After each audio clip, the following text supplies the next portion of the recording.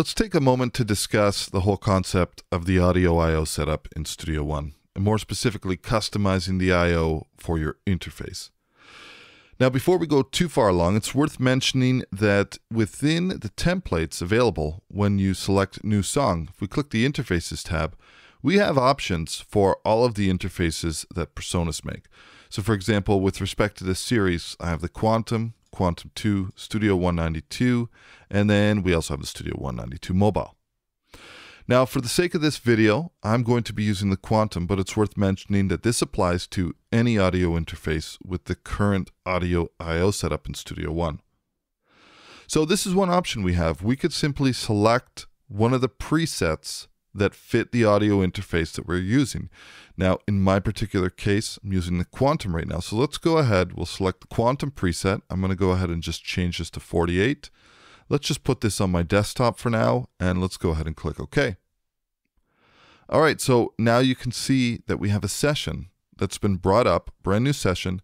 We have some tracks that are hidden here. Let's just go ahead and bring them all in. And these tracks come in record enabled and also with monitoring engaged.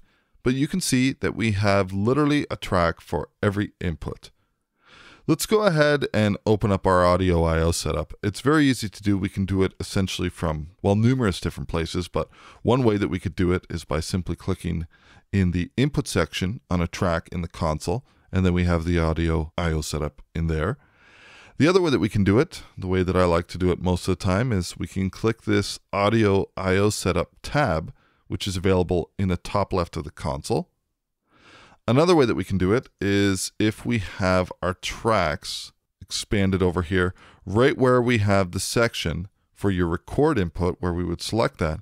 If we select this drop down menu, go to the very bottom, we have it here as well. Now we can also access it from our preferences. I'm on a Mac over here, audio setup. In the audio device tab, the very bottom, we have song setup. So you can see here, like I mentioned, they have an input set up for every single input that's reported by the driver. Now on the output side, they've also set up some outputs over here. We have our main out set up and we also have various outputs in terms of our headphones and our analog lineouts and our SPDIF lineout. So let's back up to the inputs for a second over here. Anything that's on the top over here, this is the names that are reported to Studio One by the driver. So let me just go ahead and let's just open up our audio MIDI setup. Like I mentioned, I'm on a Mac over here. And let's take a look at the Quantum. We can see we have all these names over here. So these are the names that show up. This is our outputs, and this is our inputs over here. These are the names that show up in Studio One on the top here for the inputs and the outputs. Anything on the left side here is custom names that we can add in Studio One. So that's just something to keep in mind. So this is one way that we can start a session, and then you could customize that further, or you could just work with that. The thing that I like to do is, as opposed to opening up a template, I actually like to make my own. So I have a session that I've opened up over here. Let's just open up our audio I/O setup.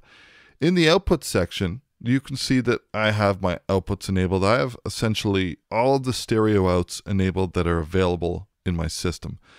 Now I have HP1, HP2, and also my analog line out 7 and 8, which is connected to a PreSonus HP4.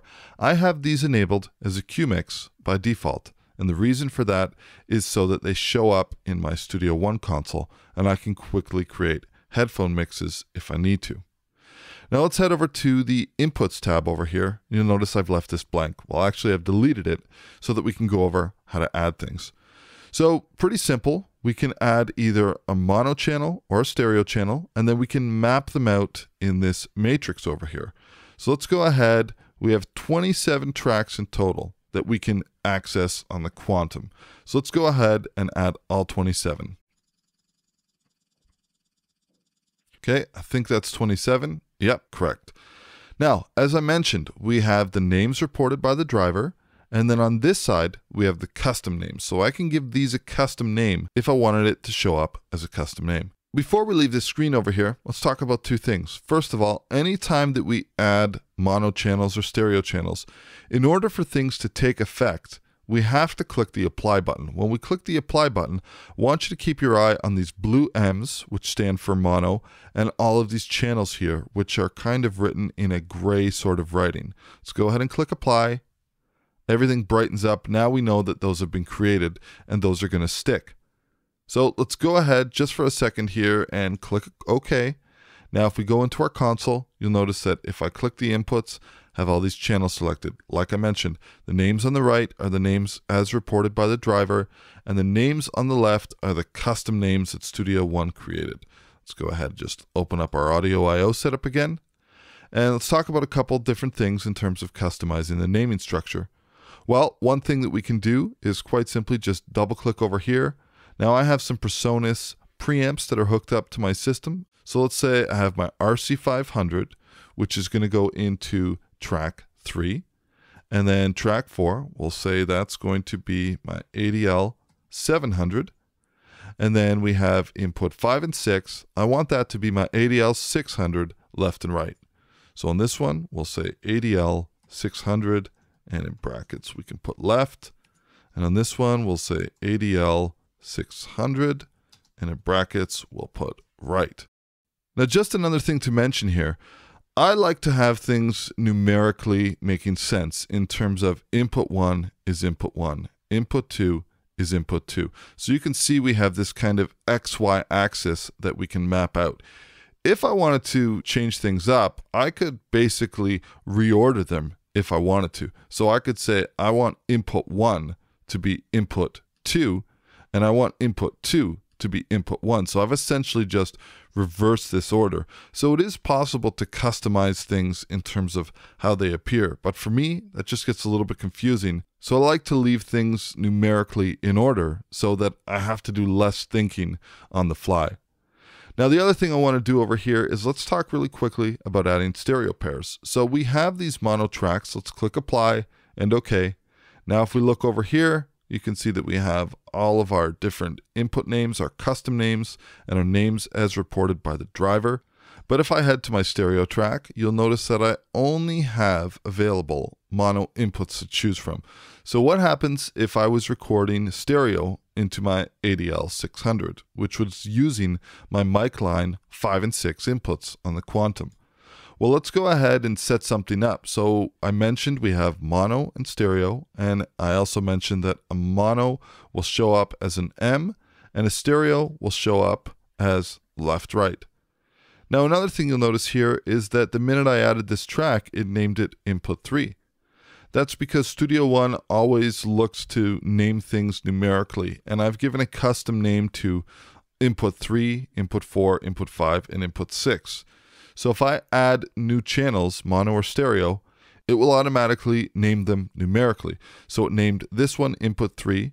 If I add three more, you'll see input 4, input 5, and input 6. Now the next thing we need to do is quite simply we need to map these out. So this one is currently mapped out to 1, 2, and then this one I want to map out to 3, 4. This one I want to map out to 5 and 6. We'll just click that and it maps them both. Now, also, these names, input 3, 4, 5, and 6, they're not really making too much sense for me right now. So what I might consider doing is renaming these as well. So instead of input 3, let's name this input 1 slash 2. I'm going to click tab, and here, let's name this 3 slash 4. I'm going to click tab again, this one, this is our ADL 600 pair, so we can go ahead and we can just rename this ADL 600, and I guess we can say stereo. And then input 6, we're going to name this input 7 forward slash 8. Now, once again, we see this is in gray, and these are in this light dull blue. Let's go ahead and click apply. Now we see that they're bright and active. Now, if we go into our stereo track over here, we have our input 1, 2, 3, 4, ADL 600 stereo, and input 7 and 8. And as I mentioned, at any given point in time, we can always see what's being reported by the driver on the right with our custom names on the left. Now, to keep things simple, if this setup works for me and I've done a lot of custom naming, we can go ahead, click the Make Default option, and then any song that we open up henceforth will automatically inherit or open up with this audio IO setup. And then we only have to really do this work once in terms of setting things up. Click make default, and then we don't have to worry about it anymore. Now, just as a quick note, we don't necessarily have to use all of the inputs that are available or the outputs. So, for example, I don't tend to use the SPDIF or the ADAT outs that much. So, if I didn't need them, I could simply select them all over here, click remove, click apply, click OK. Now, if we click over here, you'll notice that we only have the outputs available that I need.